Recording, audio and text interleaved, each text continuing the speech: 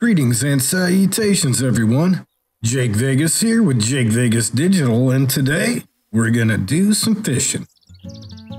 Casting out here because today I'm gonna show you guys, if you don't already know, how to catch the smallmouth buffalo and young channel catfish here on Lone Star Lake in Texas. I'm gonna start off trying to catch the channel cats, and I'm using pet food. Got my leader set to about I believe it's about 55 inches right now. Oh, looks like we got something to play with it. Guys, I'm new with the uh, sports bobber, which is what I'm using, so be patient with me here. It's supposed to be ultra sensitive.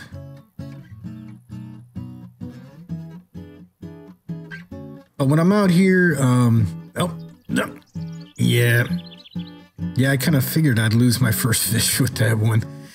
Trying to get used to this thing. It's uh, it's a different type of bobber.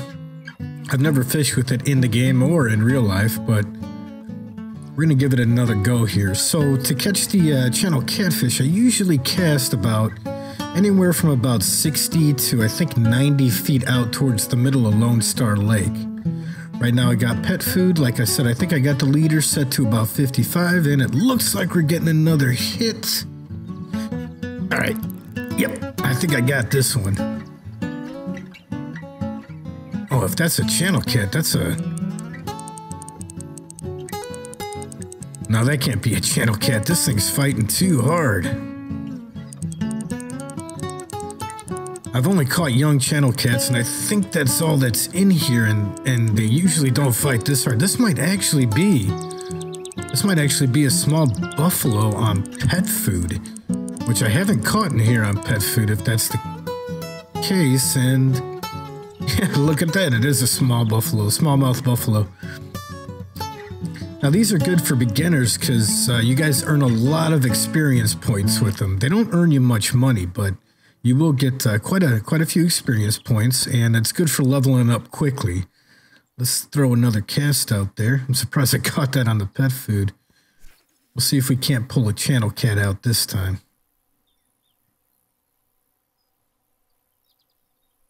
Now, one thing to keep in mind uh, when you're fishing for channel cats, um, and even the smallmouth buffalo, when you've I use dough balls. I'll review. Oh, looks like we got another hit. It's gonna take it under. I'll get back to what I was saying in a minute. Oh, yeah. All right. Got another one already. Okay, this one feels more like a young channel cat. Still fighting pretty good, though. Let's see if we can reel this guy in and see what he is. Yeah, that's a channel cat. You don't get much experience or much money for these guys. I'm not sure why. It seems like people are really interested in catching them on this lake, but I, just don't see the point really if your goal is to is to earn experience and money because they, they don't yield as much as the other fish on here.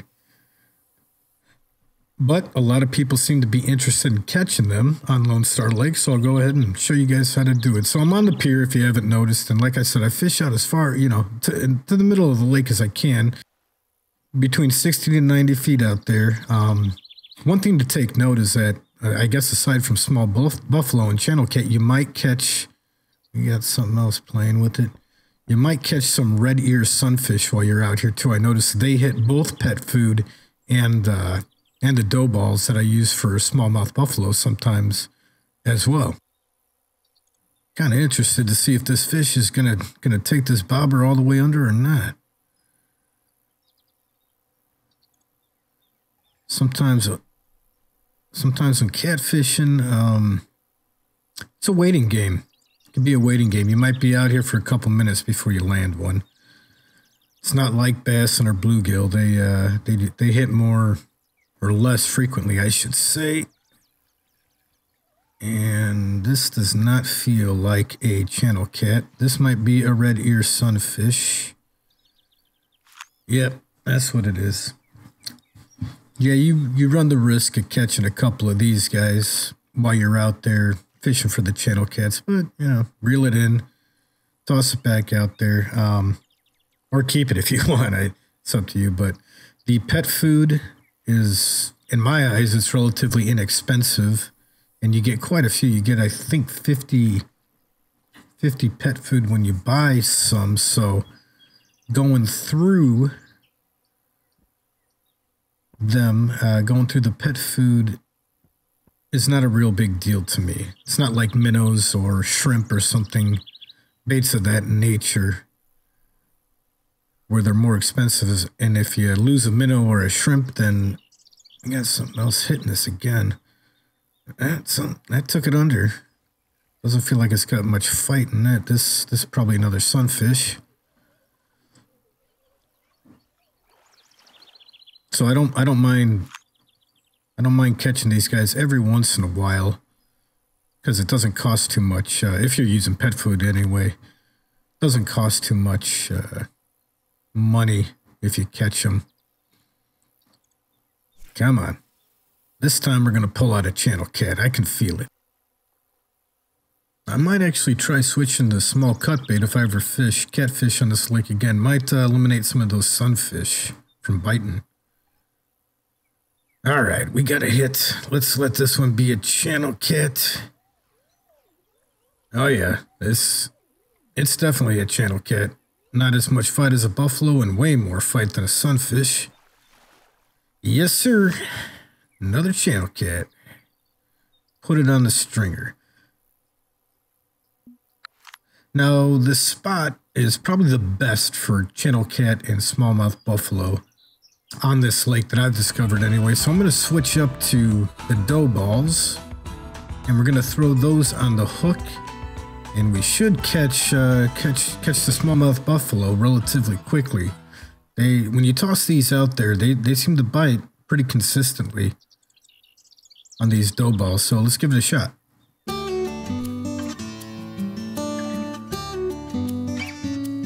Uh, if you fish Texas Lone Star Lake with the dough balls or the pet food and you, and you start landing channel cats and smallmouth buffalo, be prepared because people might start asking you what bait you're using. See, only two fish. Uh, no, there we go. Yeah, that's a smallmouth buffalo. She got some fight in her. Yeah, let's bring her in. Uh, but people are really interested in knowing how to catch channel cats and these these smallmouth buffalo on Texas Lone Star Lake. So be prepared for for some chat questions.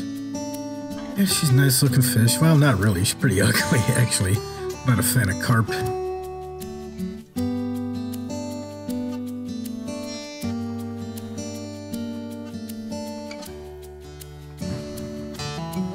Give it just a little tug here. Hopefully that'll entice something to bite.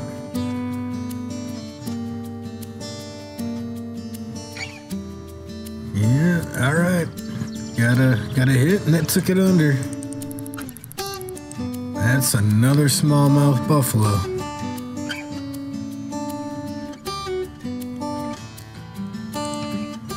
I got some fight in them. Probably the the most fight of any fish on this map.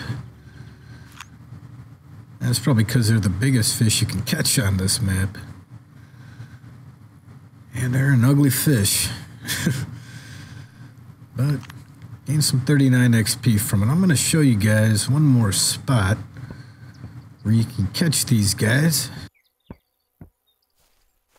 It's way down here in the corner. Now, if you want, you can automatically spawn down here uh, from the map menu. It's the spawn point that's in the lower right hand corner. And we got some lily pads over here, and there's actually a deep spot right past the lily pads, which I'm going to show you guys, where you can catch both smallmouth buffalo and channel catfish. But I will warn you two things. Uh, whether you're fishing pet food or the dough balls out here, you run the risk of uh, catching a lot of bluegill, a lot of shiners, and some crappie occasionally too.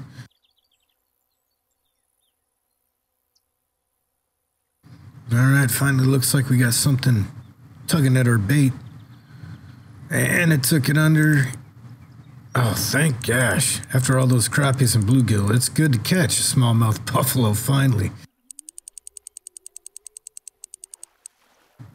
Yep, she got some fight in her.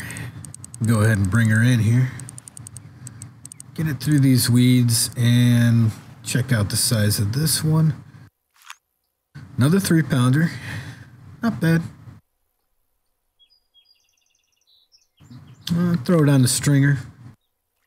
Could always use some extra money.